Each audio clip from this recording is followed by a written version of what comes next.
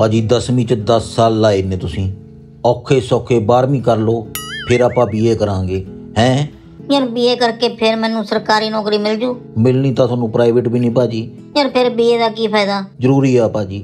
ਜਿਵੇਂ ਬੀਏ ਕਰਨ ਲਈ 12ਵੀਂ ਜ਼ਰੂਰੀ ਆ ਮਰਨ ਤੋਂ ਬਾਅਦ 13ਵੀਂ ਜ਼ਰੂਰੀ ਆ ਹੁੰਦਾ ਦੋਵਾਂ ਨਾਲ ਹੀ ਕੁਝ ਨਹੀਂ ਭਾਜੀ।